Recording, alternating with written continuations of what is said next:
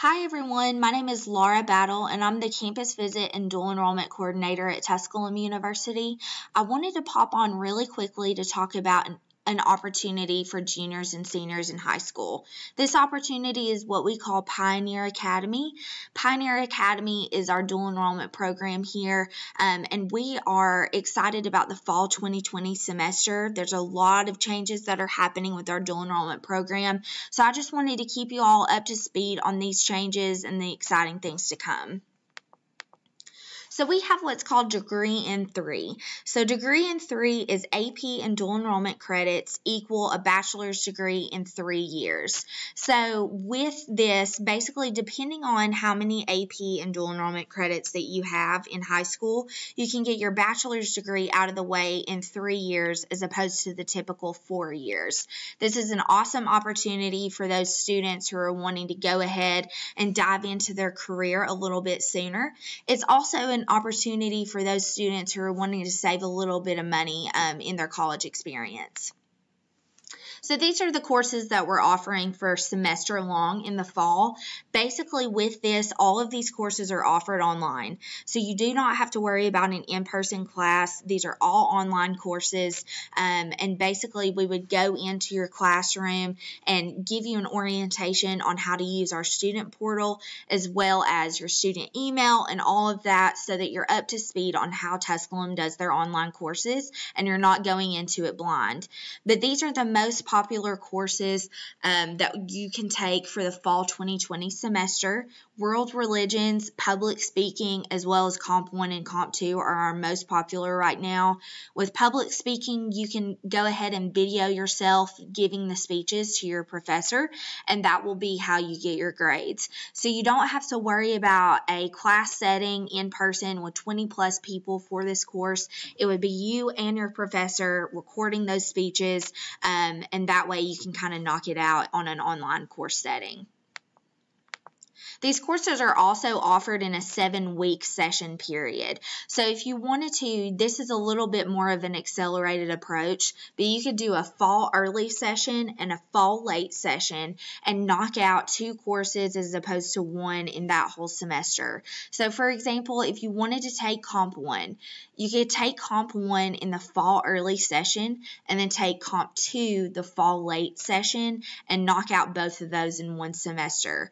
This also goes well with the dual enrollment state grant money. You would be allowed to take advantage of that for this as well. And again, it's for a more accelerated program um, for a higher achieving student. So the requirements for dual enrollment. The requirements are a 2.75 GPA and we will take the state GPA and we will not take the weighted. Um, and then also our ACT is depending on what course you're taking. So we do not require an ACT if you're just taking one course a semester. However, that excludes math and English. With math and English courses, you will need to have an ACT no matter what, um, and it'll need to meet the the requirements of that subject that we have for each um, course, and that's different per course. But for the ACT, as long as you're just taking one course, you do not have to have an ACT. If you're taking two or more courses, you will need to have that ACT and have a 21 or higher. So for registration, registration is super simple. In five steps, you're done, um, and we would come into the school and go along with this process with you. Um, but Step one is our Tusculum application. This application is free, there's no essay required, and you can find it on our website. Step two is the grant application. This is the state application that you have to fill out no matter where you are taking dual enrollment, and this is how you get dual enrollment grant money, the TAG grant, which is, which is a unique grant for Tusculum specific students, as well as the Hope Scholarship. You'll need to have that grant application no matter where you take dual enrollment. Step three is promise to pay.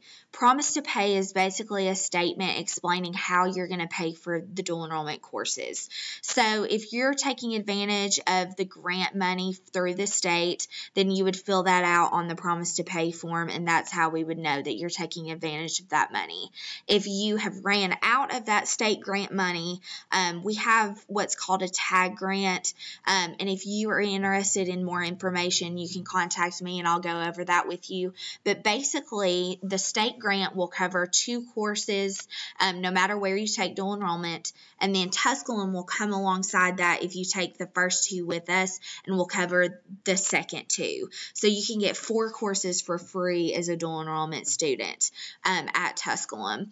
And so that'll go over the promise to pay form as well. If you're wanting to pay out of pocket for these courses, it's $500 per course for the fall 2020 semester.